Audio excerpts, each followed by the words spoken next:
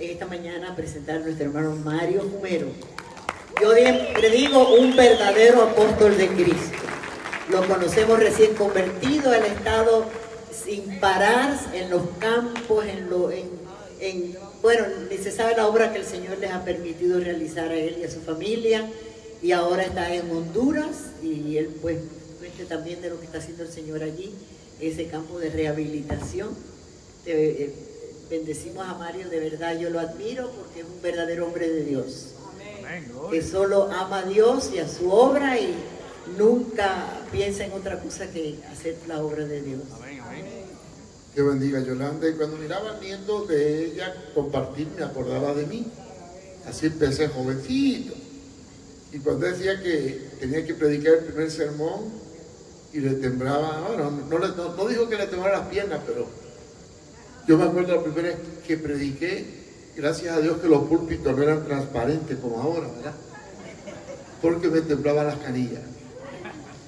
Y Dios es bueno y tiene cosas grandes. Bueno, en Honduras eh, seguimos adelante en el proyecto. El día 7 de junio voy a inaugurar un módulo de seguridad que costó casi unos 25 mil dólares. ¿Qué es este módulo? Es un lugar donde vamos a llevar a los muchachos violentos que se descompensan y hemos hecho un cuarto especial que se llama cuarto de epicrisis o reflexión. Ustedes ven que manejamos jóvenes, prácticamente menores de edad, mandados por los juzgados de Honduras, porque son sicarios. En Honduras eh, se usan a los menores de 18 años para matar gente, porque la ley los protege. Igual que aquí, aunque aquí ya se va un poquito firme, ¿verdad? Y trabajamos con drogadictos, alcohólicos y pandilleros de las maras. Tenemos como 60 muchachos, claro, en el proyecto pues hicimos ese módulo donde está la policía abajo, tiene un cuarto de para epicrisis y otro cuarto para un muchacho que se porte mal y haga que expulsarlo, bajarlo abajo y que lo vengan a recoger si es del juzgado o que se vaya cuando venga el bus. Lo inauguraremos el 7 de junio. Si alguien quiere ir, está invitado pero la distancia es mucho y el pasaje es caro, ¿verdad? Sí, los pasajes para Honduras son muy, muy caros. Bien, hoy quiero hablar, ¿te acuerdas la última vez que prediqué aquí? ¿De qué prediqué? A ver, ¿quién se acuerda? A ver. No, ¿de qué prediqué? No, no. La última vez que prediqué aquí, prediqué de los Judas Iscariotes de los últimos tiempos. ¿Cómo se le olvidan los amores, verdad? Yo creo que la pastora Yolanda debería repartirle un sellador de oído cuando entren por la puerta, te tapan un oído para que oigan por uno y lo que entre por aquí no salga por aquí, sino que suba para aquí y baje para aquí. Hoy voy a hablar sobre la codicia y últimamente me gusta predicar usando Biblia y no tomar solo un texto aislado fuera del contexto para manosear la palabra los predicadores de la prosperidad usan un texto que lo manosean para decir a la gente que hay que ser rico. Hace poco vi por televisión un mensaje de un pastor de aquí de Miami burlándose de los que tenían ropa humilde y, y ratos y sacos viejos, diciendo que, bueno, diciendo barbaridades, ¿verdad? Él no ha leído que Juan el Bautista se vestía con pieles de camello y comía miel silvestre. Y criticaba a los pastores que tenían ropa muy humilde, dando a entender que la ostentosidad y la prosperidad son símbolos de la gracia de Dios. Los que predican la prosperidad usan un texto muy, muy fuera de contexto, que es tercera de Juan 1.2. Búsquelo para que sepan de dónde tienen ellos el agarre fuerte en el Nuevo Testamento. Y en el Antiguo le gusta mucho usar los textos relacionados con los reyes de Israel.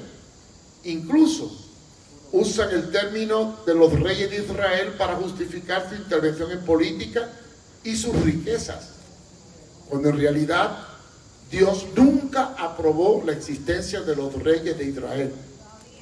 Los permitió porque el pueblo insistió, pero le dijo que le iban a dar el problema, porque desecharon el gobierno de los jueces, representado en aquel momento por Samuel. quiero que leamos en la Biblia este texto, que es el que usan los que manosean la Biblia para justificar la prosperidad y la riqueza. Dice, amados, yo deseo que tú seas prosperado en todas las cosas y que tengas salud, así como prosperar tu alma. Cuando hablan de prosperar, interpretan enriquecerse. Pero prosperar no significa ser rico. Prosperar significa ser bendecido. Y todo el que tenga el Señor es bendecido. Él me contaba la miseria que hay en República Dominicana. Si hubiera entrado en Haití es peor todavía. Peor. Y no hablemos de Venezuela, que es un país riquísimo. Y está peor que Haití y que Santo Domingo. Y muchos países latinoamericanos viven en miseria. Pero sin embargo yo he descubierto algo. Yo tengo en mi, en mi Facebook, o sea, encontré una foto donde se ve al presidente Trump, al presidente de Francia, a cuatro presidentes parados muy serios. Si la riqueza y la fama es felicidad, estos deben ser muy felices. De forma, en forma de ironía. No, la prosperidad no es símbolo de felicidad verdadera, es símbolo de bienestar material. Si es cierto que usamos ese texto para justificar las riquezas y predicar enriquecerse, yo les voy a citar textos bíblicos del Nuevo Testamento que contradicen el deseo de tener. ¿Cómo se llama el deseo de tener? ambición. Ambición.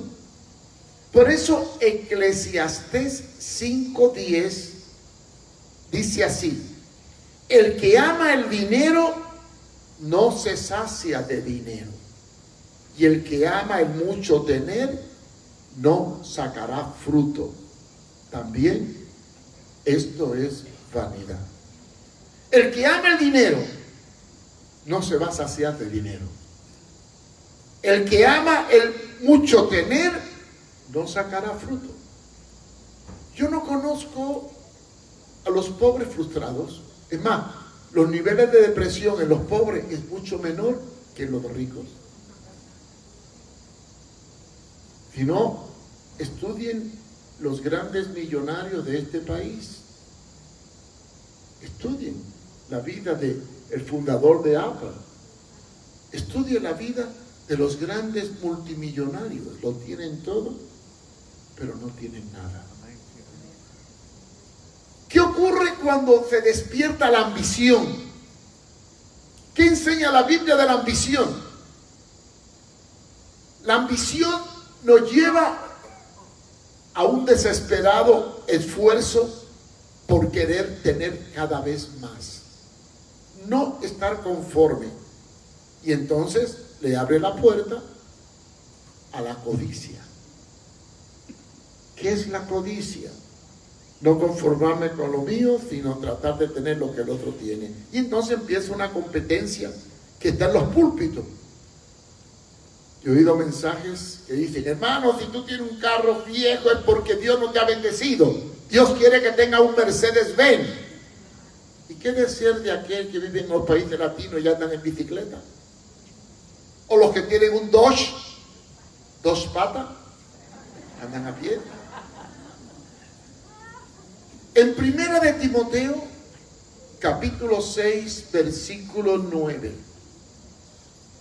el apóstol Pablo habla del riesgo de la codicia que nos lleva a la ambición y establece que todo aquel que cae en la codicia cae en la trampa de Satanás. Búsquese 1 Timoteo 6.9. Vamos a ver qué dice la Biblia. Porque los que quieren enriquecerse caen en tentación y lazos y de muchas codicias necias y dañosas que hunden a los hombres en destrucción y perdición los que quieren enriquecerse. la desesperación por tener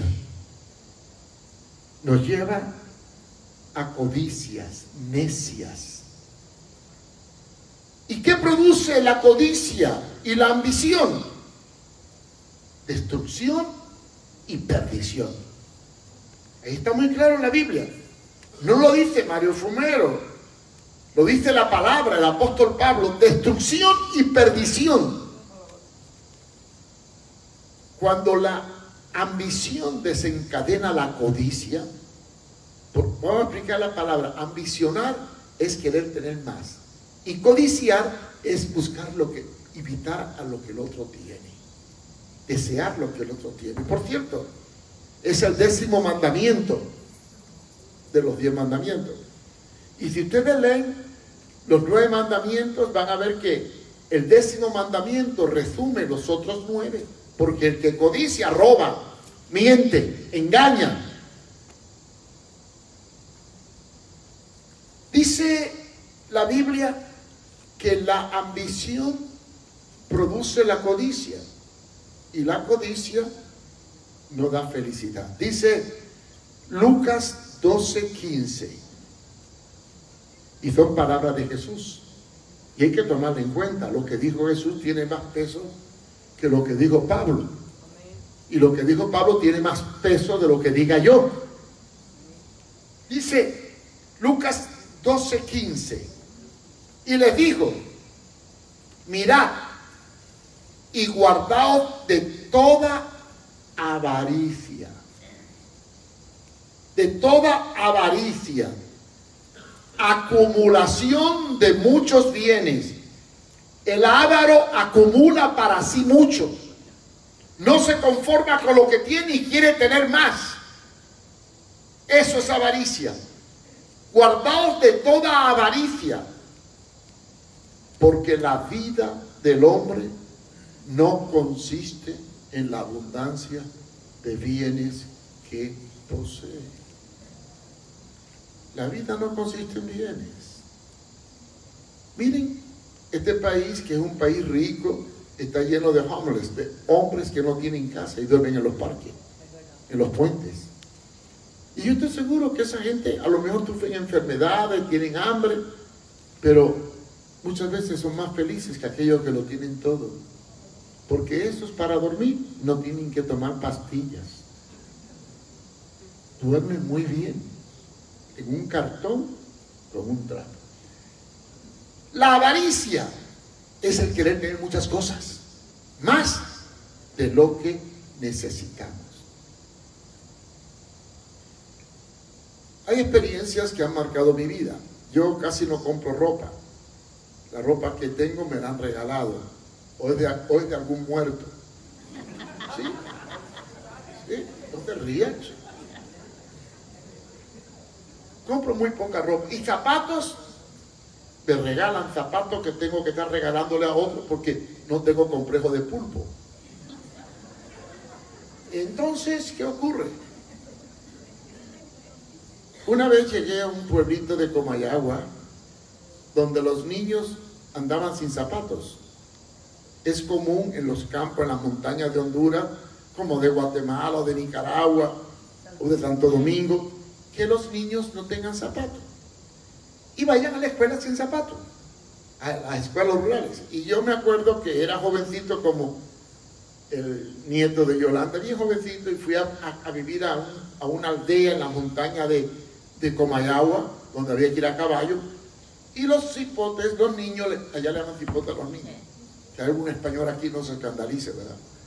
Y los niños andaban sin zapatos, y me llevaron al río a bañar, porque no había ducha en la casa. Y fui al río a bañarme, y claro, yo me quité los zapatos y cuando traté de caminar por el río, me, dolían todos los pies, y me caía, y ellos muertos de la risa. Y ellos corrían por el río sobre las piedras y yo no podía dar un paso. Descubrí una cosa. Ellos tienen la planta de los pies muy fuerte, muy sólida, y no le molestan ni las piernas ni las espinas. Pero yo, como toda mi vida usé zapatos, pobrecito de mí cuando iba con ellos al río no podía caminar y se reían de mí. Al cabo de los años llegó un misionero, le llevó zapatos, le regaló zapatos.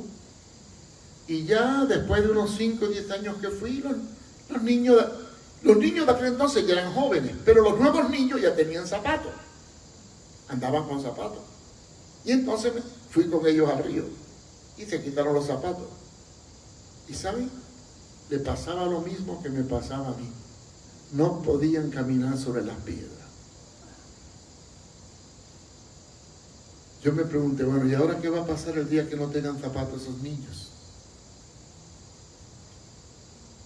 Eran felices sin zapatos y siguen siendo felices con zapatos, pero cuando se los quitan y caminan sobre piedra, entonces ya no son felices.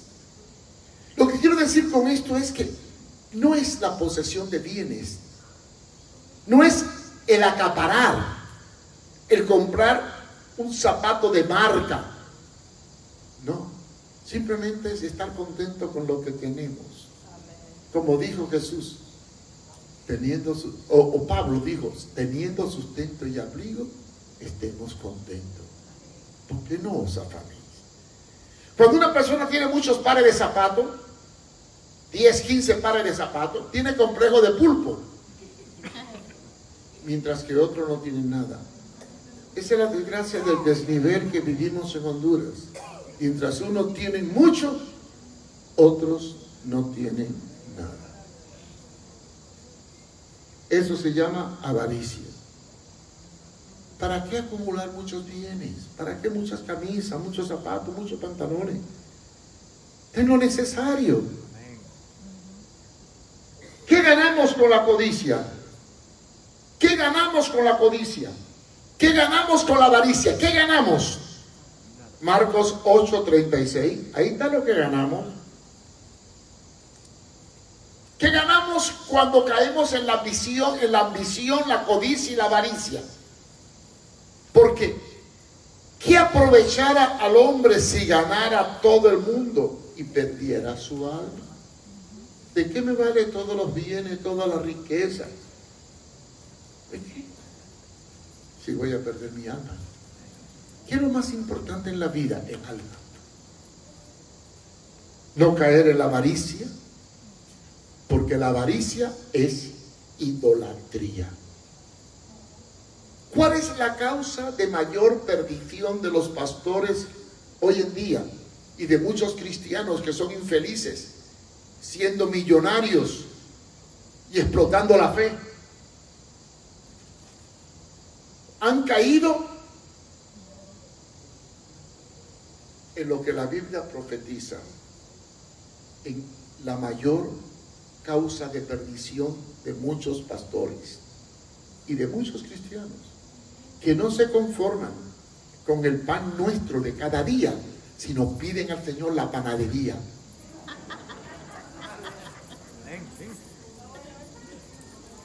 Primero de Timoteo 6:10. Vamos a razonar este texto. Primera de Timoteo 6:10. Es importante que lo vean y lo marquen y lo analicen, porque están hablando por la palabra. Porque raíz de todos los males es el amor al dinero. No es el dinero, el dinero necesario. El amor es peligroso. Raíz de todos los males es el amor al dinero el cual, codiciando algunos, se extraviaron de la fe y fueron traspasados por muchos dolores. Miren, la Biblia habla muy claro. Entonces, ¿cuál es el mayor tesoro que podemos tener? El dinero que tenemos en el banco. Miren, hermano, a la gente le gusta tener dinero guardado. Hay gente que tiene millones de millones. Hay millonarios que tienen tantos millones que te podrían darle de comer a todos los pobres del mundo por un año. Esta es la injusticia del mundo. Hay pastores que tienen hasta 60, 70 millones. Y no voy a decir nombre. Usted búsquelo en YouTube. Hay un programa ahí de pastores millonarios en Brasil, en Guatemala, en Costa Rica, en Estados Unidos. Pero aquí ya están entrando a ser multimillonarios. Mientras que alrededor hay miseria y pobreza. ¿Dónde está nuestro tesoro? ¿En el banco? Un día de esto se derrumba la bolsa de valores, se, la moneda se viene abajo y le va a pasar lo que le está pasando a Venezuela. Que el dinero ha perdido tanto valor que la inflación ronda un millón y medio anual. Quiere decir que tú para poder comprar tienes que tener muchos billetes. Yo me acuerdo una vez que fui a Bolivia, hace muchos años, cuando era joven, estamos hablando del año 70, que la moneda se devaluó tanto que para ir a comprar un refresco a la pulpería, al negocio, había que llevar el dinero en carretas. Porque un refresco le valía 5 millones. Y la moneda más grande que había era de 50 mil pesos. Así que imagínate, ¿cuánto dinero había que llevar? Y no valía nada. Un día de esto, ¡pum! Se hunde la bolsa de valores. Y yo me acuerdo cuando, cuando el régimen de Cuba comenzó a intervenir todas las propiedades, que muchos cubanos, que ya muchos están muertos ya, eran dueños de empresas, de Bacardí, de muchas empresas grandes, y de pronto se quedaron sin nada porque le pusieron un rotulito que decía, esta es tu casa, Fidel, y se la cogió toda. Y confiscó todo y llegaron a Miami. Y había un hombre muy millonario en Cuba que al sentir que lo perdió todo, cayó en depresión y se murió en Miami. ¿Qué dice Mateo 6, 19 al 20? ¿Cuál es el mejor banco que podemos tener cuando Dios nos bendice materialmente? Mateo 6, 19, 20. No hayáis tesoros en la tierra donde la polilla y el orín corrompen y donde ladrones minan y hurtan, sino haceos tesoros en los cielos donde ni la polilla ni el orín corrompen y donde los ladrones no minan ni hurtan. Lo que tú das para el reino lo que tú das para la misión, lo que tú das para el necesitado, eso sí está bien invertido. Y vas a tener grandes recompensas. Lo que tú ganes y acumules, de nada te va a servir. ¿Por qué? Porque Proverbio 13:11 dice que la riqueza de vanidad disminuirá, pero el que recoge con mano laboriosa le aumentará. La Biblia dice que el mezquino no prosperará, sino que hay quien todo el día codicia, pero el justo da y no detiene su mano. Proverbio 21, 26. Ahora, ya para terminar, ¿cuál es el fin de la codicia o del codicioso o del ambicioso? o de los que caen en la prosperidad. ¿Cuál es el pecado más grande de ellos? El afán. Y el afán produce ansiedad. Y la ansiedad produce depresión. Fíjense bien, el que mucho tiene, mucho se deprime. ¿Sí? ¿Por qué? Porque se preocupa de perder lo que tiene. Por eso es que Jesús habló de que no debemos codiciar porque el que codicia se afana y el que se afana se desespera y pierde la capacidad de ser feliz. Proverbio 23, 4 dice, no te afanes por hacerte rico, sé prudente y desiste. Repito, Proverbio 23, 4, no te afanes por hacerte rico. Trabaja, prospera, pero no te afanes, por tener. Afánate por servir, por dar, por compartir. Y después Eclesiastés 5.15 dice una verdad muy grande. Como salí, como salió del vientre de su madre desnudo, así vuelve, yéndose tal como vino, y nada tiene de su trabajo para llevar en su mano. Eclesiastés 5:15. ¿Saben que Alejandro Magno, Alejandro Magno, el conquistador de, de, Europa hacia, hacia la India, un gran conquistador, conquistó muchos tesoros y mucha fama y mucho poder. Pero cuando estaba agonizando, hizo un testamento. Y en el testamento pidió lo siguiente, quiero que cuando me muera, mi ataúd lo lleven los médicos. Que en el camino vayan regando todos los tesoros que conquisté. Y que en el ataúd dejen mi mano por fuera.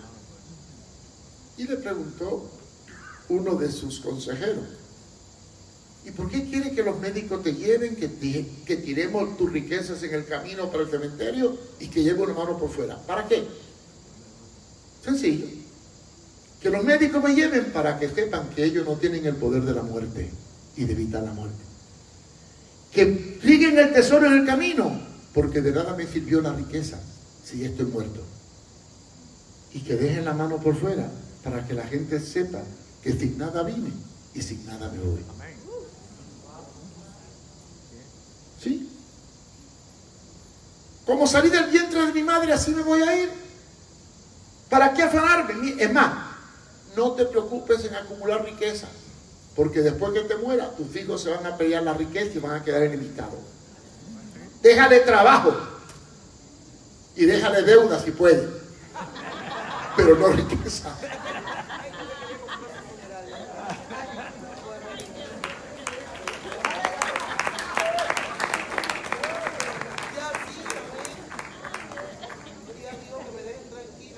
Debemos luchar contra la avaricia. Inclina mi corazón a tu testimonio y no a la avaricia, dice el Salmo 119, 36. Y Jesucristo habló de algo que para mí es un texto muy importante y se aplica a los que quieren ser políticos, a los que juegan en los dos bandos, a los que quieren ser ricos. Mateo 6, 24. Miren, este texto es tremendo ninguno puede servir a dos señores, porque o aborrece a uno y amará al otro, o estimará al uno y menospreciará al otro. No podéis servir a Dios y a las riquezas. Y después Pablo, tomando ese texto, da un consejo a la iglesia de Colosa. Le dice a los colosenses en el 3.5, haced morir pues lo terrenal en vosotros, fornicación, impureza, pasiones desordenadas, malos deseos y avaricia, que es idolatría. Y por último, todo cristiano debe ser honesto, íntegro con sus recursos. No robar, no engañar, no mentir, no estafar, compartir, dar con dadivosidad dar lo que merece, pagar tus impuestos, pagar tus diezmos, pagar lo que Dios te ha dado, aquello que Dios te pide. Romanos 13, 6. Hay cristianos que evaden impuestos y engañan al Internal Revenue. Y si engañan al Internal Revenue, también engañan a Dios y engañan a la iglesia. Romanos 13, 6.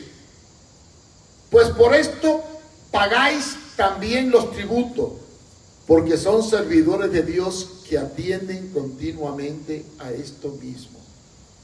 Y en otra parte, Pablo es más explícito. No debáis a nadie nada. Y para concluir, y la próxima vez que predique voy a hablar de esto, en el bolsillo todos ustedes cargan una trampa diabólica. ¿Sí? Quizás algún joven que no tiene, pero todos llevan en el bolsillo una trampa diabólica. ¿Cuál es la, traje- cuál es la- trampa diabólica? ¿Cuántos no tienen una tarjeta de crédito? Levanten la mano. Uno, dos. No tienen tarjeta de crédito. A ver. Bueno, esos se han librado de la tentación.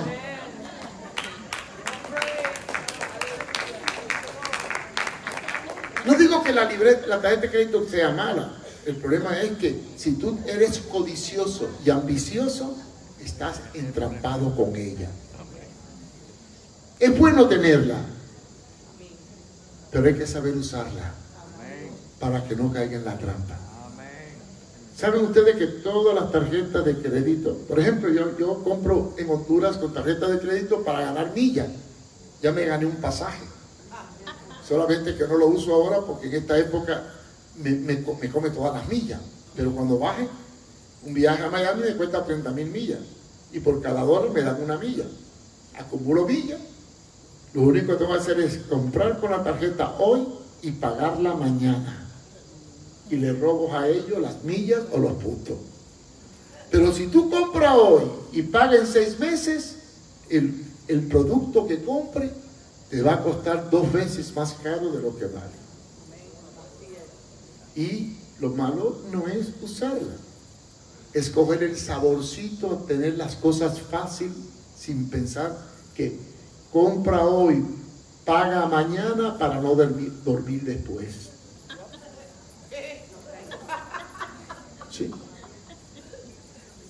No le vais a nadie nada. No busquéis riqueza, no os afanéis, no codiciéis. Estad contento con lo que tiene. Confórmate. Y dale gracias a Dios. Y no pierda la paz por las cosas materiales. Porque al fin y al cabo, Dios te prosperará si tú eres fiel. Dios no falla.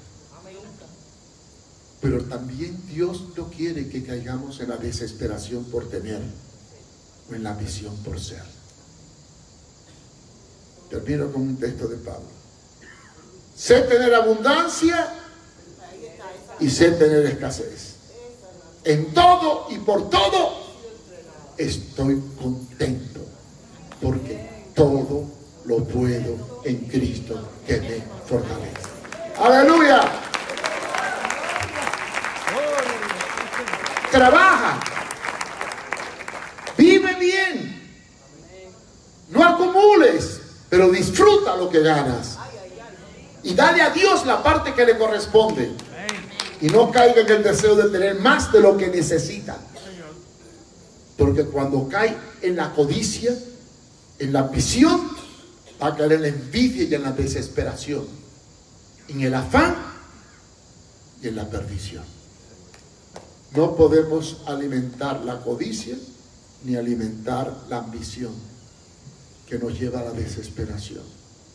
Tenemos que aprender a vivir quieta y sosegadamente, sabiendo que no hay justo desamparado ni su simiente que bendiga. Padre, te damos gracias por tu palabra. Gracias por tu amor, gracias por tu misericordia. Reprendemos todo espíritu de codicia y ambición que reina en muchos púlpitos y confiemos en tu providencia divina. Que estemos contentos con lo que tenemos, conforme con lo que nos da. Que compartamos de la abundancia con el que necesita. Y que pensemos, oh Dios, que mientras yo tengo a lo mejor 10 pares de zapatos, hay otros que andan sin zapatos. Que mientras yo voto la comida, oh Dios, hay otros que no tienen que comer.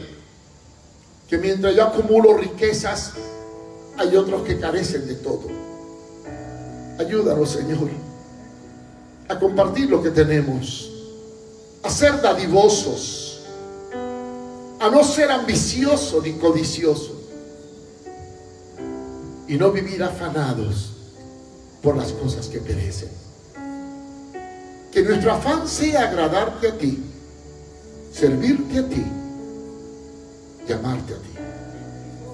Ayúdanos, oh Dios, Ayúdanos a reprender todo espíritu de codicia, de ambición y de afán para poder vivir tranquila y sosegadamente. Gracias. En el nombre de Jesús. Amén.